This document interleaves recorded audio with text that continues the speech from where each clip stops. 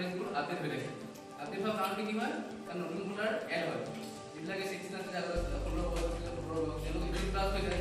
Eighteen plus হোৱাৰ পিছত তেওঁলোকৰ নামটো আমি ভোটাৰ তালিকাত এড কৰোঁ। বা যিসকল লোক শুকাই যায়। শুকাই যোৱা লোকসকল আমি কি কৰোঁ?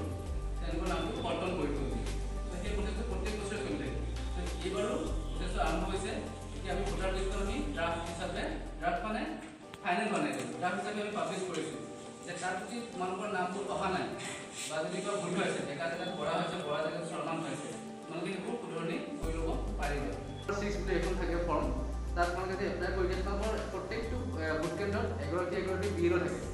ক্ষেত্ৰ পৰ্যায়ৰ বিষয় বুলি কয় বুথ লেভেল অফিচাৰ তোমালোকে তেওঁকো কণ্টেক্ট কৰিব পাৰা বা তেওঁক যদি তোমালোকে কণ্টেক্ট কৰিব পৰা নাই আমাৰ অফিচলৈ আহি নিৰ্বাচনী কাৰ্যালয়লৈ আহি তোমালোকে যোগাযোগ কৰিব পাৰা। আজিকালি অনলাইনো হৈ গৈছে। এন ভি এছ পি বুলি আছে এটা ৱেবছাইট তাতো তোমালোকে নিজে এপ্লাই কৰিব পাৰা।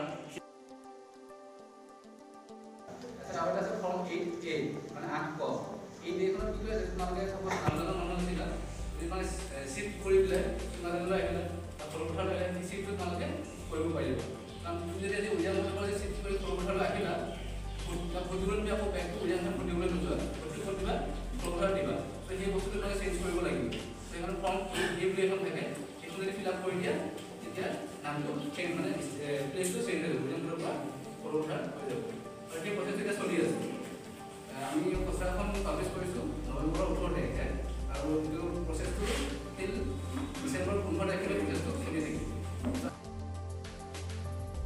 ফৰ্ম ছিক্সখন নতুনকৈ এড কৰিব লাগিব ফৰ্ম ছেভেনটো ডিলিট ফৰ্ম এইটটো কাৰেকশ্যন অফ দ্য নেম আৰু ফৰ্ম এইট এইটটো হয় চিফ্টিং অফ দ্য প্লেচ এইখিনি যদি কৰি লোৱা এখন